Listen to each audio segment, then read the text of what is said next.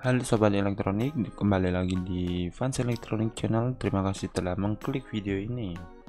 Oke, langsung saja kita seperti biasa akan berbagi tips ya programming project yaitu di sini saya akan membuat tutorial pemrograman Arduino menggunakan 7 segment dan di sini project yang saya buat adalah dadu elektronik.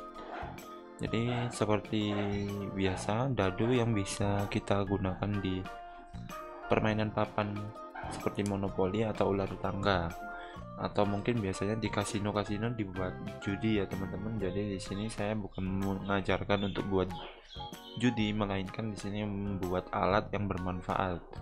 Dan mungkin bisa untuk alternatif teknologi yang lebih canggih daripada dadu konvensional yang biasanya yang berupa fisik. Oke langsung saja kita coba simulasinya. Skematik sudah saya sediakan seperti ini dan bisa diunduh di atau di download di link deskripsi di bawah. Masuk aja di artikelnya. Di situ sudah ada link downloadnya. Semua program lengkap juga di situ.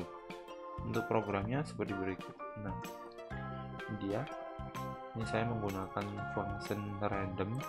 Jadi kita akan mengacak data integer dari 1 sampai 12 Oke kita coba simulasinya teman-teman. Mana simulasi? Ini dia. Oke kita tombol satu kali input. Nah ini dia. Kita akan mengacak secara karena ini memang simulasi. Mungkin ada bug karena agak lambat ya mungkin ya pengacakannya. Nah ini dia. 10 oke. Nah ini dia 8 kita cek lagi tempen tombolnya kita klik dan 6 nah ini akan secara random mengacak angka 1 sampai 12 jadi nggak bisa lebih nggak bisa kurang. Oke. Okay. nah di sini kenapa saya menggunakan ICC register?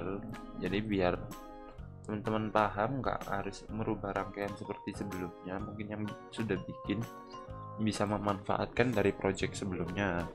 Atau mungkin teman-teman kalau mau membuat project ini lebih sederhana dengan rangkaiannya.